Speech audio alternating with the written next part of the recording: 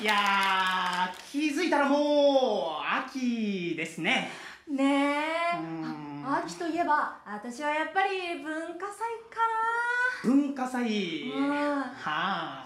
な楽しかったな。はい。みんなで夜まで準備とかしてさ、はい。あ、はい。はい。コスプレとかしちゃって、はあ。ーしのクラス焼きそば作ったんだけどさあ。ーし結構焼きそば作るの得意でさ。あーでも焼きそばは家で食べる方が美味しいと思うけどね。え？うん焼きそばは家で食べる方がね。でも楽しかったよ。あまあまあまあまあまあ。所詮はおままごとみたいなところもあると思うし。そんなことないよ。いやいやいやいや。やっぱ結局はちゃんと家で準備して 食べた方がうんよっぽど美味しいと思うし。あ疲れたりとかもないと思うし。ああとそれに。家から出んなよ。おっとどうしたどうした。そんなに家が好きなら家から出んなよ。いやでも家の方が。あんたに迷惑かけてないよね。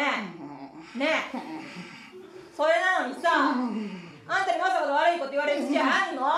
なんとね？ね。えあはい。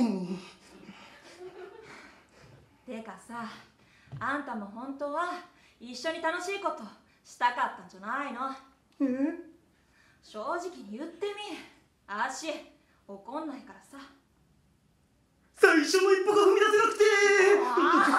ごめんなさいわかったわかったじゃあ足100やるからあんたはそこで焼きそば焼いてなありがとうございますあー。文化祭楽しいなあ焼きそばすいませんはいよ焼きそば一つへいお待ちありがとうございます